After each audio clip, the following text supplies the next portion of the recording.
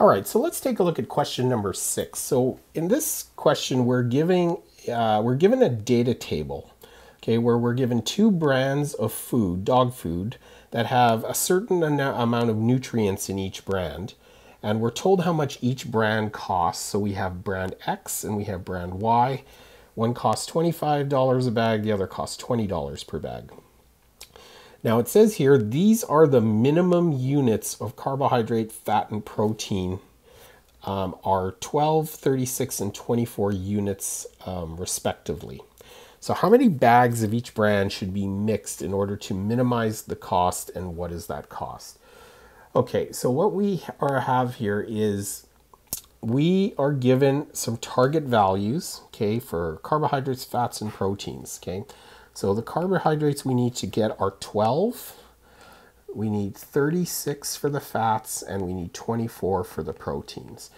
Okay, so what that is telling us here is that we have um, we have to buy a certain number of bags for each item. Okay, so if we buy so many bags of brand X, we we would take the number of bags and multiply it by two and then we'd buy so many bags of brand Y and multiply it by one. And when we add those up, that should, our target value here is going to be 12. Now it also says this is the minimum number of units that we're looking for. So that means we could actually have more than just the minimum. That means it's going to be at least that many units, if not bigger. Okay, so the way let's we're going to set this up is we're going to we'll write down a couple of let statements here. We're going to say let um, let the um, number of bags um, of bag X be variable X. They just unfortunately chose the letter as the same as the variable. Okay, and then we're going to say let the number of bags of Y dog food brand be the letter Y. Okay, so now this is going to be the number of bags that we are going to produce. Okay, so the very first thing is that we have, let's write an equation to calculate how much carbohydrates we have. Okay, well, brand X is going to give us two units of carbohydrates, so that means that's two times X for the total number of carbohydrates from brand X. And then we add that to the number of bags of Y times one okay, because Y is the number of bags and we get one unit of carbohydrate from each bag. So that means we are just going to be essentially 1 times Y or just Y. Now, if it says it's the minimum, the minimum means that we can be at least 12 or if not bigger. Okay, so that the way we want to do that mathematically is we say it's greater than or equal to 12. Okay, that defines things as a minimum value of being 12. Okay, and then for the fat is the same thing. We're going to go 2 times x, because it's 2 units of fat per bag of x, plus 9 times y, because there's 9 units of fat per bag of y, and we have to have a minimum of at least 36. Okay. And then the minimum for the other one here is two units of protein with times X, the number of bags of brand X, plus three units times Y, and our minimum is going to be 25, 24 units of protein. So these produce the equations that we are going to be graphing at this point here. Okay, so 2x plus y is greater than 12, 2x plus 9y is greater than 36, and then 2x plus 3y is greater than 24. Now we have a cost equation that we need to figure out also, okay? So the total cost to purchase the dog food, okay, we can give that the letter C, is equal to the number of bags of brand X times the cost per bag. So the bag is $25 to purchase X, and if we have brand X, and if we have X number of those bags, it's just 25 times X. Okay, and then we add that to the total cost of purchasing uh, brand Y, which is the number of bags of brand Y, which is the letter Y, times 20. Okay, so that's our cost equation, and we want to minimize that. So we need to plot our constraint equations and figure out what kind of a shape we have. Where is the common area that overlaps? And then figure out um, um, what what are the points that are common, okay, in in the overlap, and then we need to figure out the minimum value from those points. Okay, so the idea here is that we need to graph this. So these numbers here looks like they should we should be able to graph these fairly easily. Um, it is going to take a little bit of effort to rearrange these equations. So I'm going to just jump over to Desmos here. Okay, and we're going to plug those equations in, and then we're going to let the, the tool generate the graph for us, and, we'll, and from that we will capture the points, okay, that are, uh, are needed here. Okay, so I'm going to just quickly pop out of this, and we're going to go into the Desmos tool here. Let it load up. Okay, so I've got a blank screen here for this. So we're going to plot our first equation, which was 2x plus y, and that is greater than or equal to 12. Okay, so there's our first line.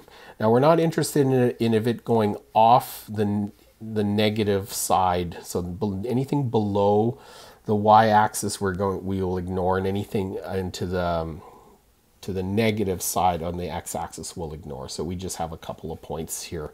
We're just looking at the positive part of it. Okay, then we're going to plot in here 2x plus 9y, and that is going to be greater than or equal to 36. So now we have our other line, and you can see it's starting to take shape. Okay, and now we see where, where the two equations overlap each other. Okay, so they're overlapping um, the big part where they overlap is um, where we have a couple of points here that start to define this. And then let's plot our third equation, which is going to be 2x plus 3y, and that's going to be greater than 24. Okay, and now what we have here, I'm just going to zoom in here, is, or let me just pull this back. Okay, we have, um, we want to look at where all these lines overlap completely. Okay, so there's nothing here really below around the origin where it overlaps. Okay, all the equations start to overlap from this point here, starting at this point here, 0, 12. Okay, and then sort of the other point where they all converge is 3, 6. Um, we can't choose this point here, 4.5 and 3, because um, that doesn't that only captures two of the equations overlapping. It doesn't include the green part, so we're going to skip that. But the next point where all of them intersect is at 9, 2. And then the last point here is at 18, 0. Okay, so we have to write those down. So that's what the shape of that, of where the overlaps are. So let's go back to our notes here. Okay, and what we'll do is we'll do a little table okay, of all the little vertex points where they were overlapping. So the first one that we marked was 0 and 12. Then it was 3 and 6. Then we skipped that one below because that wasn't part of what was completely overlapping. Then we had 9 and 2.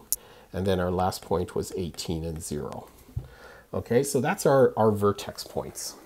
Now what all we have to do is figure out what our cost is. Okay, so we know our cost equation was 25x plus 20y. Okay, so I can write that down again here, 25x plus 20y. So what would our costs be for each pair of coordinates here? So 0 and 12 is going to give us 25 times 0 plus 20 times 12. Okay, so 25 times 0 plus 20 times 12. So that is going to give us 240 okay, because the zero goes away. The next one here is 25 times 3 plus 20 times 6.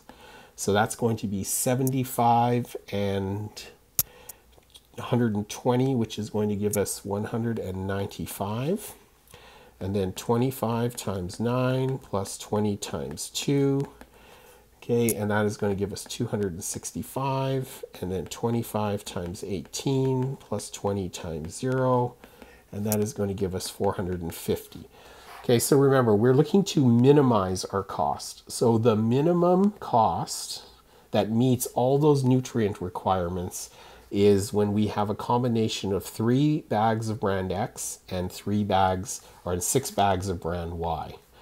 Okay, so we have three bags brand X, six bags brand Y, okay, and our cost is equal to $195. So that's our optimum amount of bags that we should purchase to produce our minimum cost, but yet meet those nutrient requirements of at least 12, 36, and 24. Okay, so a little bit more involved this question. Okay, and like you say, it helps to use this uh, website tool because it kind of gets you out of just plotting the equations. Because once you know, if you know how to do those already, you should be able to work through them. But this way, we will generate the math from those equations and then figure out what it's trying to tell us. Okay, so that's the way that I would go through with this problem.